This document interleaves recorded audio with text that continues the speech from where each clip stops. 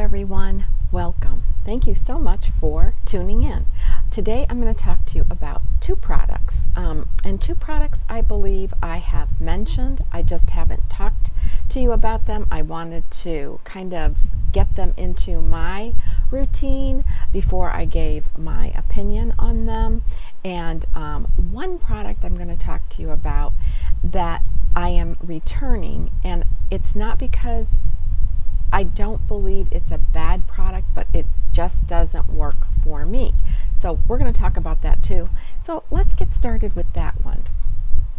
I am a fan of Anastasia Beverly Hills. I love a lot of their products. And this is the foundation and it is called a luminous foundation.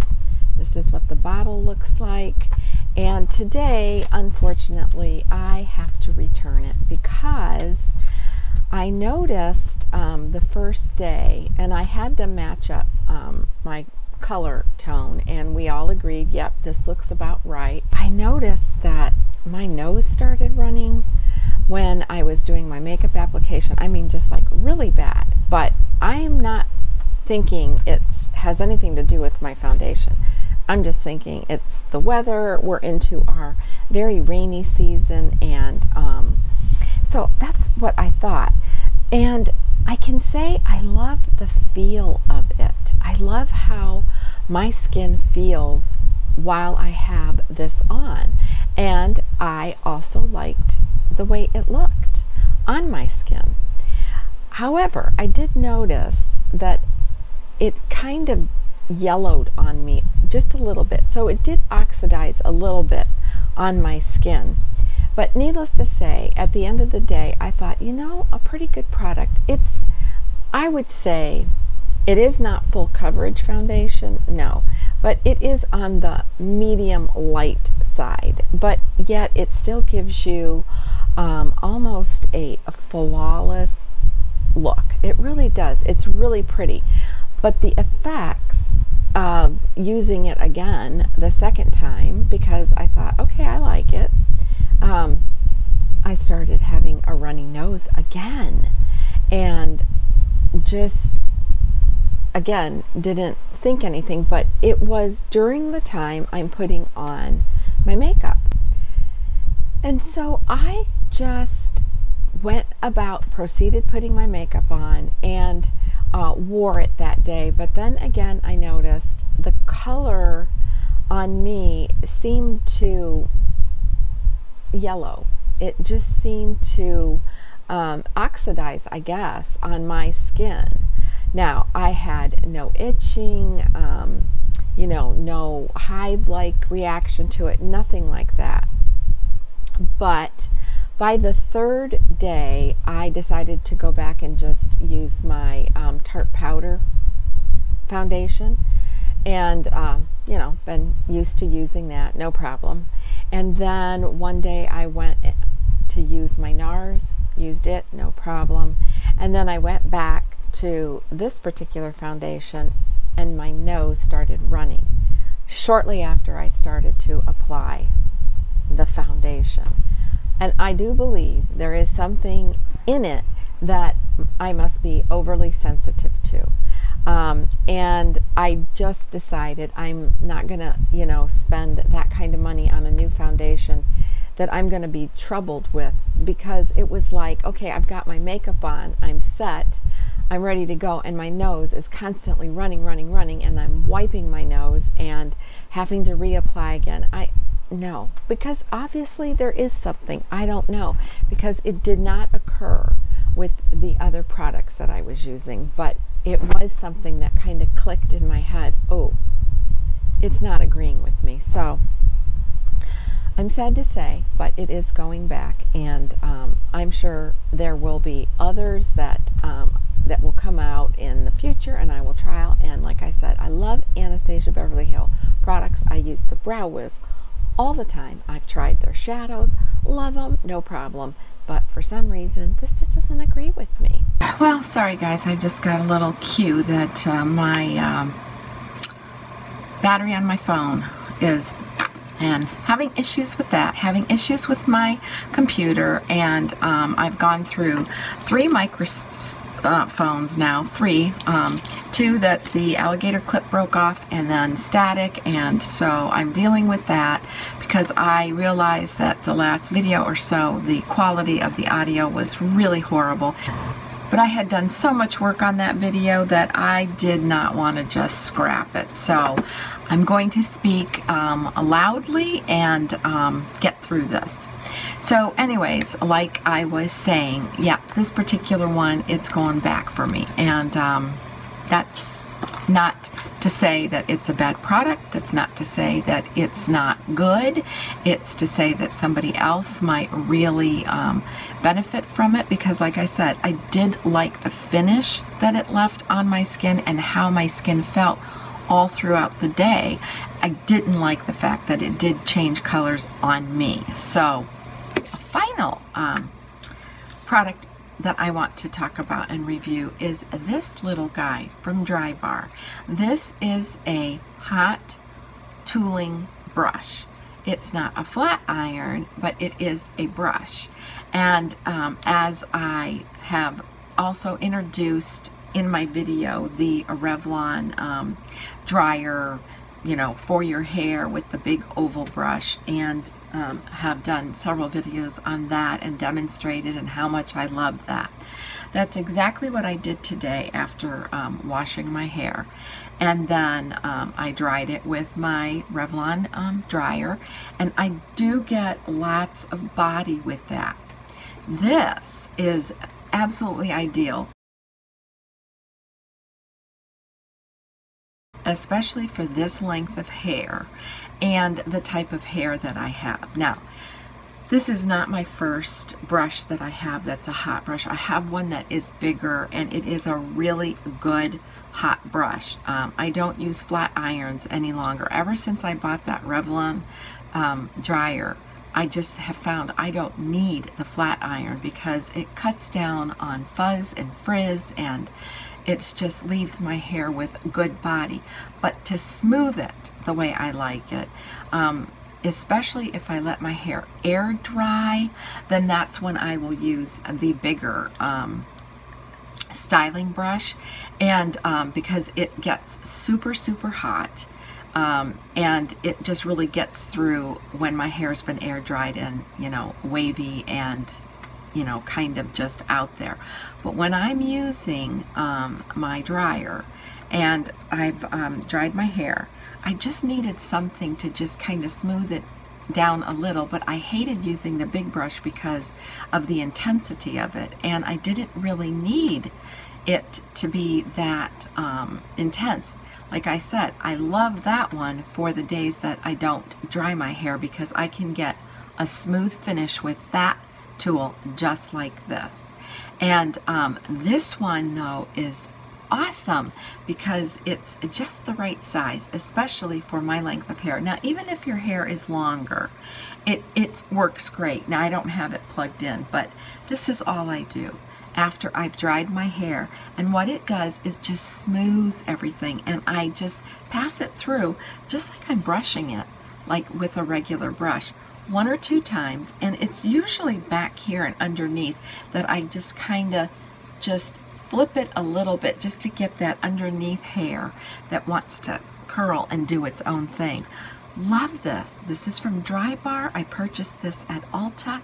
It's $59. It's another great tool to add to make things nice and quick. Now, on the off days where I haven't um, washed my hair, this is the little guy I go to just to give me a nice smooth if I'm wearing my hair down or if I've had my hair up the day before and I have dents or those crinkles from my little scrunchie or you know the barrettes or just a couple of dents. I just take this out run it through once or twice smooth it it's great simple and easy. So with the two styling products that um, I have just introduced into my life, it has replaced my big round brush, my um, hair dryer, and then my flat iron, and this gets the job done. If I don't have this, if it wasn't here or available,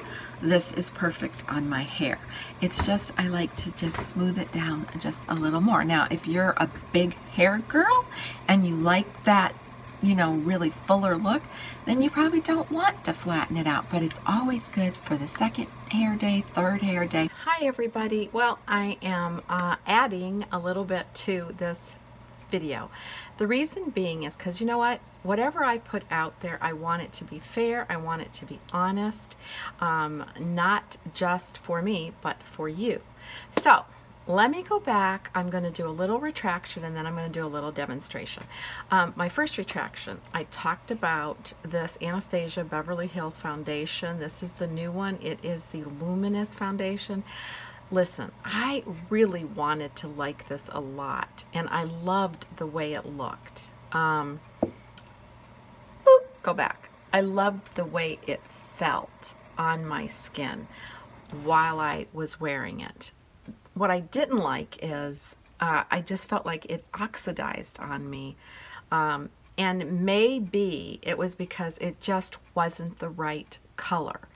Um, it was just pulling so much yellow from my skin. And, you know, I did go in, I had them match me up. I agreed with it. It looked like it, but you know how hard it is in those lights and I even walked to the front door where the sunlight was to really assess it. But as I wore it, I just noticed I kept feeling like, gosh, my face seems so yellow. So I thought um, I returned it. I did return it. And at the time, um, I was in between errands and going somewhere, and I didn't have time, and I had makeup on, and I said, well, you know what? I'm going to return this. Um, I told the clerk, you know, what was going on with it, and I said, but I'll, just to be fair, because I really like the way it feels, um, I'm going to come back with no makeup on and then I'll have them do my face and we'll see. I was still concerned that I felt like I was having allergy issues from it. So this particular foundation claims to, and I'm going to read it to you right off the box because I didn't do that, that it's vegan, um, gluten-free, alcohol-free, clinically tested, dermatologist tested, ophthalmologist tested, non-comedogenic, suitable for sensitive skin, long wearing, and no flashback. Now, I don't get the vegan thing. I mean, it. I mean, I get it, you know. what? It doesn't eat beef? Just doesn't eat meat? Just veggies? Kidding. Just kidding, but kind of cracks me up when I see that vegan on products, but I get it. Um, gluten-free so those that have allergies to gluten, that's very important. Alcohol-free is important to me. Um, I like that it's clinically and dermatologically tested. I have sensitive skin. It says it's suitable for sensitive skin. And it's long wearing, which I have to attest, I felt like it was very long wearing, uh, and no flashback. Now the no flashback thing, I don't really care about. That's like for professional models who get their photos taken and, you know, doesn't put that white cast on your face, but then you're not supposed to use sunscreen. And sorry, I use sunscreen 365 days a year because I don't want to say I don't like the sun. Um, of course, we all need to be nourished by the sun, and so does everything else, but uh, I don't like the idea of having the sun on my face um, or my hands or my arms. I mean, it, it's just kind of one of those scary things now. So I wear sunscreen every day. And um, yeah, because why? I have damage from the sun from my young teenagers, and we've already talked about all of that. So whatever I can do to correct it. But this does leave a pretty luminous finish on your skin and it feels good on your skin. Now, did it oxidize on me? Yes, it did. I don't know about all the claims where it may not do that to others. It did, and it pulled so much yellow from my skin because I believe I was definitely in the wrong color. And so what I decided to do is I'm going to go back to the store, no makeup on, only my primer, that's it. And um, I did that. Today was the day perfect day for me to do that. And um, I did not want to tell the clerk what I had purchased prior that I had returned. Um, I just wanted her to look at me and assess me and match me up. So she did that and she came back and I'm like, really? And she had two different colors. And the one, of course, that she first started with, she goes, nope, I can tell right now this is far too light for you. And I said, I know I have kind of like that sallow looking olive kind of tone to me, but really my face and neck area is pretty like it's light. It's not fair fair, but it's still on the light side. And sometimes people match me up with a powder or a foundation and it's so beige. It just doesn't work for me. So, um, she came back with a two and one she said nope i can tell right now this one is going to be way too light. And then this other one she goes i'm thinking this is okay. So she did a big you know, stretch right here. We let it sit for a little bit, looked at it, and she said, now I can try to go a little bit darker because there are so many shades in this foundation. It's awesome. And um, I said, well, and so she, we just fooled around a little bit here, but mostly here and let it sit. And we thought, yeah, that looks like a pretty good match. So um, I also was trying to pay attention. Is my nose running? Am I starting to get that runniness that I was kind of making a um, assumption that every time I sit down to do my makeup when I was using this, my nose started running. Now I never had any itchy skin, redness, swelling, hives. My eyes didn't get watery and itchy. And normally if it is an allergen that's bothering me, it's both. Eyes and runny nose, eyes and runny nose. And yes, I get allergies are out there right now and they're really awful. Even though we're having a ton of rain, which is always good for me when we do because it just kind of brings those allergens down. Um, but I didn't know. So I said, okay, I'm going to sit around for about 10 minutes and just let it sit on my face. Let me see what I feel about the coloring and let me see if I'm going to have any, you know, runny nose or anything. No, I didn't. And I liked the coloring and I'm like, okay, this I think looks good. Now the clerk said to me, listen, it is going to oxidize. Um, I mean, it does. And there's other people that have said, you know, they wanted to make sure that it wasn't going to be one of those ones that just, you know, oxidizes like right after you have it on. But what I was so impressed with the first time is I did like the luminosity that it left and I liked how it felt on my skin. And I'm an oily girl person, so mm, that usually comes out pretty quickly. Um, now, I have done nothing to my face. I went ahead and did the full application of it probably four and a half hours ago. And, you know, I'll come up as close as I can. I still think it has that nice, I have no highlighter on. Um, I just have a little bit of blush on that I put over it. Um, no setting powder. I think it, I can see maybe I'm starting to get a little breakdown, not even breakdown, just a little coming through here. But this is my T-zone area and that's really the part that, you know, I need to powder up. But I like it. Now, she went ahead and did two um, applications. The first one with a sponge. And I would have to say with a sponge application, it was a very light um, coverage um, to where your skin actually showed through and it looked nice, but it didn't give me the coverage that I want in a long wearing foundation. But then the second go round was with a brush.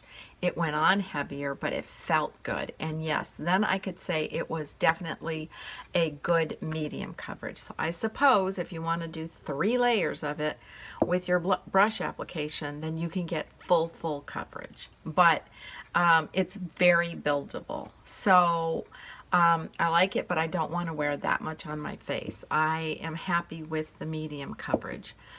Um, so I decided, you know what, I'm going to give it another try. So she said, well, what number? Now this one that I have today is number 130N, and there are so many shades, so many colors to choose from. Um, and so we looked on my sales receipt that I had returned, and she was like, Are you kidding? Because it was hugely different. The gap was hugely different. She goes, I never would have put you in that color. So then there was another clerk there, and she just was, you know, working or call, walking by, and she said, Do you remember um, working with her and she looked at me. I said, oh no, it wasn't her. Um, and she said, you know, because she was matched up here and, you know, this is what she has on. And she goes, well, whatever you have on looks like it's a perfect match. And she said, and this is what they matched her up with. And she was like, what?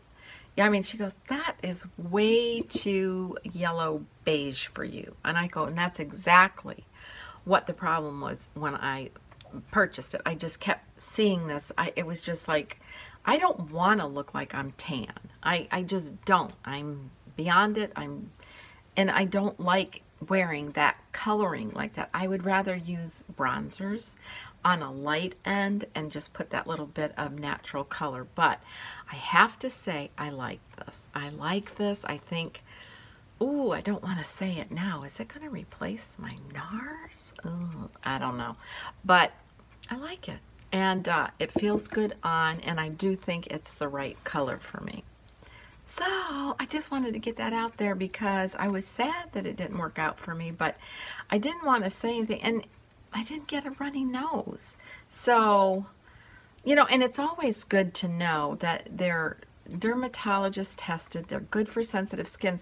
And that's really what attracted me to this foundation because it's good for sensitive, suitable for sensitive skin. It's dermatologist tested. It's alcohol free. I mean, you know, that's what I'm looking for because I know what happens when I'm using something that has alcohol and stuff in it. Okay, so the second thing I wanted to talk to you about is this.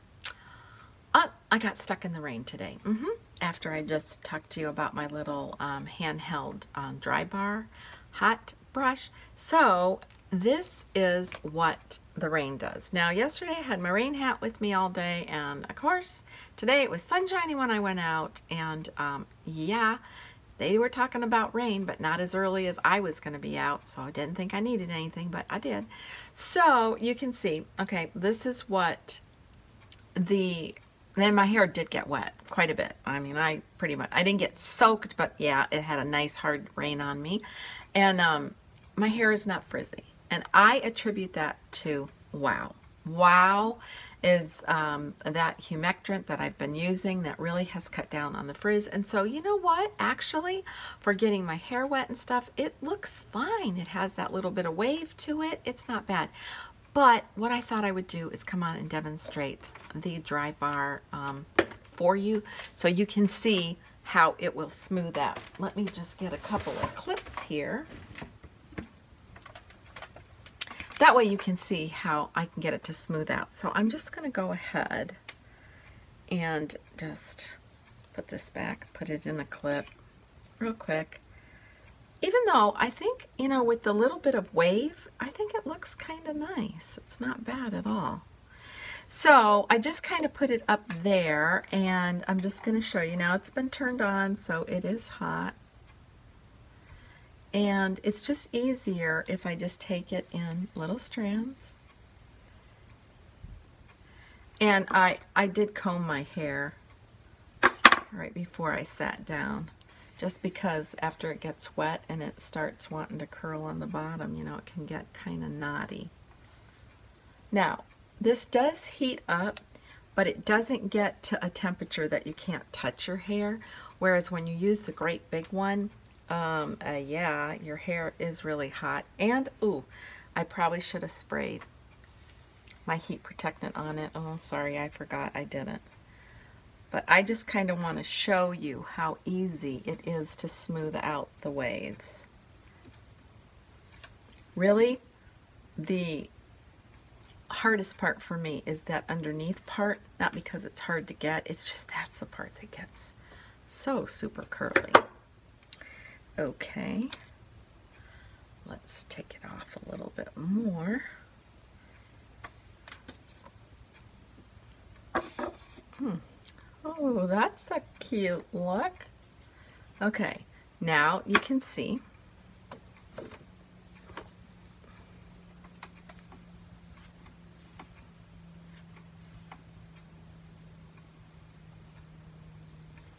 and I'm just passing it through I'm not pulling it, you know, tight or taut. I'm just gripping it like you would your hair in any normal brush. and you can see. And I'm in this little room right now and our humidity is like so hot because we've had torrential rains. And I do think there's a little hurricane kind of brewing in the Gulf that they're keeping an eye on. But can you see the difference in the straightness of it? And if you don't want to separate your hair, I just do because I think it's easier on your hair. And you can just grab it and just, you know, do your thing. Okay, now I'll take it completely down. Oh. That clip is hidden under there and I don't want to pull my hair like I just did because ouchie. Okay, and it still has the top layer part that's a little bit, you know, crinkly. And this is what I was talking about earlier in the video that um, you know, after you sleep, you do get a little bit of crinkles, but like I said, a silk pillowcase really helps on that. Sorry if I'm hitting the mic and if it's making noise. I'm just having so much, so many issues when I do the voiceovers that it's frustrating. I had to scrap a video this week, guys, and I'm still trying to work on the audio part because it was really bad. And it's hard because you work to get a video out and then you download it and it turns to bad. Um, then it just turns out to be bad. So, okay guys, that's it. See? It took out the crinkles and the wrinkles and um, smoothed it out, which is, you know, the way I like to wear my hair. Um, but that literally took no time. And so basically that's why I went with the smaller one because on days like that, that, you know, I want it smoother and not wavy or when I get up, this thing is so handy. So, so, so handy. So um, I just thought I would do a demonstration as long as I was coming back to you with um, the news of my um, Anastasia Beverly Hill Foundation. It's so far today, I like it. So nobody knows. And so hopefully, and it doesn't look like this color, this color looks like it's the perfect match. And maybe that was the majority of the problem. So until my next video, be kind, be humble, and age gracefully. Bye.